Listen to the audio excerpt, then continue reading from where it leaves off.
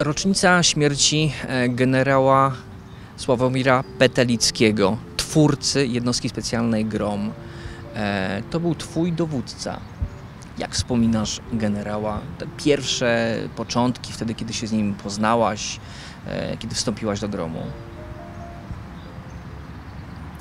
Zawsze bardzo mnie wzrusza to wspomnienie, dlatego że wiem, jak wielki, jak wielką pracę wykonał pan generał, żeby tę jednostkę wymyślić po pierwsze, doprowadzić do jej powołania, co w rzeczywistości początka, początku lat 90., właściwie przełomu lat 80. i 90. musiało być nie lada y, zadaniem, z którym pan generał sobie poradził, wówczas pan podpułkownik.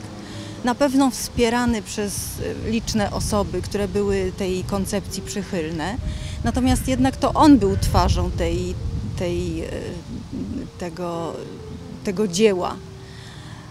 Y, Pan generał by, był świetnym szefem, chociaż czasami bardzo trudnym, bardzo wymagającym ale bardzo wdzięcznym i warto było dla niego pracować. Nawet jeżeli bywały sytuacje, kiedy był z czegoś niezadowolony, albo wracał ze spotkania e, w Ministerstwie Spraw Wewnętrznych, gdzie e, jakby spotkał się z nieprzychylnością, nieżyczliwością, albo ktoś mu usiłował rzucać kłody pod nogi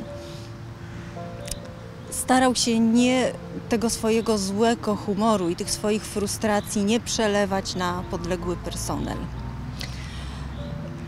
My też ze swojej strony staraliśmy się łagodzić pewne nastroje.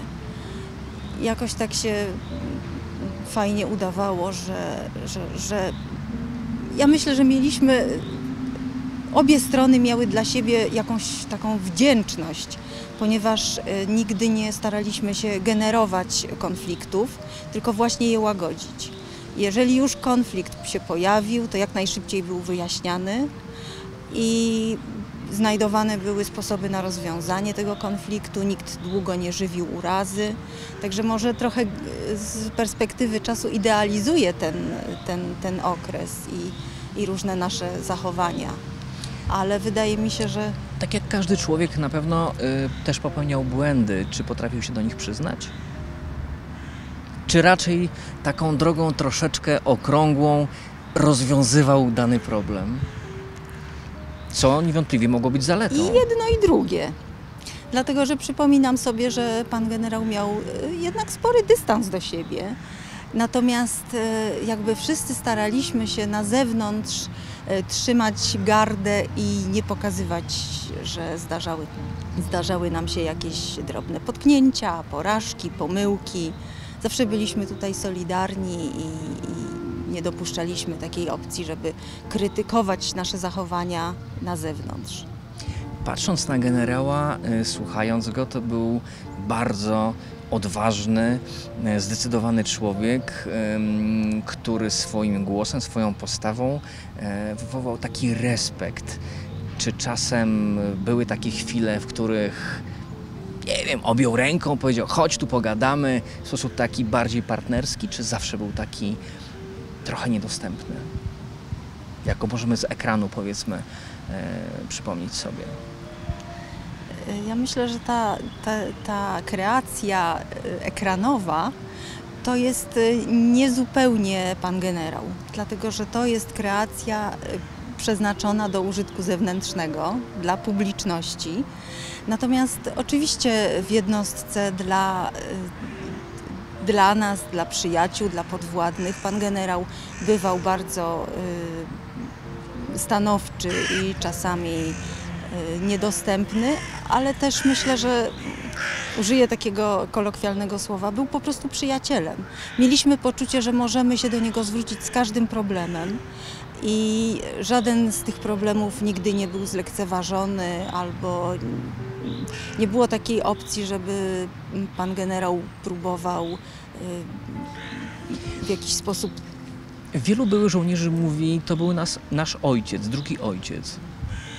Tak, zresztą przez bardzo długi czas y, pan generał y, występował między nami pod takim właśnie Stary pseudonimem. ojciec. Tak.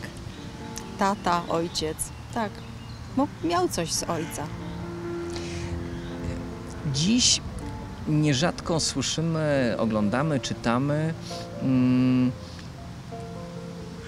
pierwszy dowódca gromu. E, Czasami trochę zapominamy o tym, że tak naprawdę e, twórca Oczywiście, gromu. oczywiście i to jest ogromna różnica, dlatego że dowodzi się jakimś tworem, który się otrzymuje w dowodzenie, natomiast no, tutaj jakby najistotniejszym zadaniem jest utworzenie czegoś nowego w sytuacji, kiedy jakby okoliczności zewnętrzne nie zawsze sprzyjają. No, tak jak e, już powiedziałam, wydaje mi się, że zwłaszcza w rzeczywistości ówczesnej, początku lat 90., kiedy ten nowy ustrój w naszym kraju się rodził i ludzie byli, e, ludzie, z którymi pan generał musiał obcować, jego przełożeni, e, osoby, od których zależały decyzje, które, podejmowały decyzje na temat powołania jednostki, nie zawsze były równie mm, entuzjastycznie nastawione do tego pomysłu. Prawdopodobnie pan generał po prostu tutaj wygrał przez to, że był tak. y, miał ogromny dar przekonywania i był bardzo zdecydowany, zdeterminowany. zdeterminowany w swoich działaniach. Tak, Dla niego procedury, regulaminy, regulaminy nie zawsze y, szły po drodze, po prostu on wykonywał to, co miał zrobić. tak, tak, tak. Jego decyzje i jego zamiary miały tutaj pierwszorzędne znaczenie. Dziękuję Ci bardzo za to spotkanie. Dziękuję bardzo. Szanowni. Państwo, e, dowódcami, ministrami, prezydentami się bywa, a twórcą się jest jednym. Dziękuję bardzo. Dla Polska mówi Monika Kupczyk.